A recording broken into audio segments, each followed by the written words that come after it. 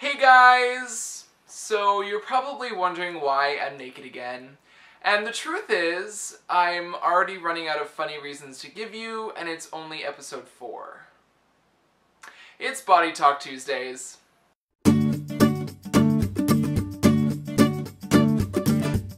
On this week's episode, I really want to talk about the gay community and our identities. Now, I think this one only applies to the men, so I am sorry ladies, but I try to only talk about what I know through my experiences. Anyways, in my world, we literally identify ourselves by our body type. If you're thin, you're a twink. If you're big, you're a bear. And there's literally a thousand subcategories in between. Now, don't get me wrong, I have no problems with self-identification. However, my issue here is you don't really get to choose your box. If you're a bit bigger, you're placed into the bear box, and that is that. God forbid a boy who has more than one identifying quality. But the thing is, we'll then go out and search for the box that we're looking for without any room for variation. We've literally created ourselves this system that everyone just has to follow.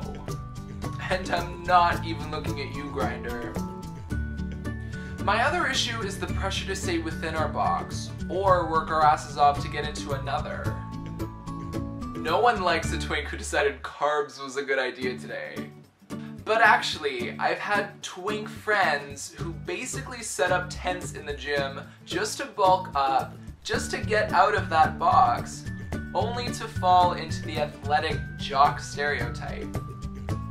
Now, it worked for them and they're super happy, so props to them, but their motivation to do it was just so wrong.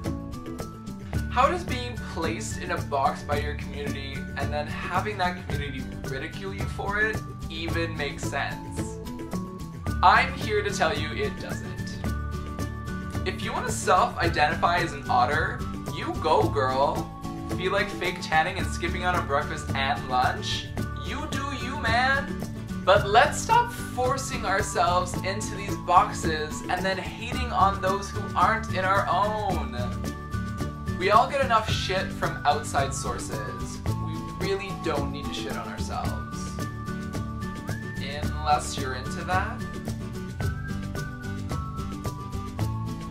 Question time! Peter asks, what's your opinion on fad diets? Juice cleanse, no carbs, paleo diet, etc. Certain diets work for certain people, I just never found that they worked for me. However, I do do a cleanse that you can get at Shoppers. I do it maybe once or twice a year, just whenever I feel like my body needs a little kickstart. Never deprive your body of something it needs without the proper substitution. You're just gonna end up doing more harm. Thanks, Peter! If you have any questions for me, please leave them in the comments below or tweet them to me at Someday Special with the hashtag Body Talk BodyTalkTuesdays.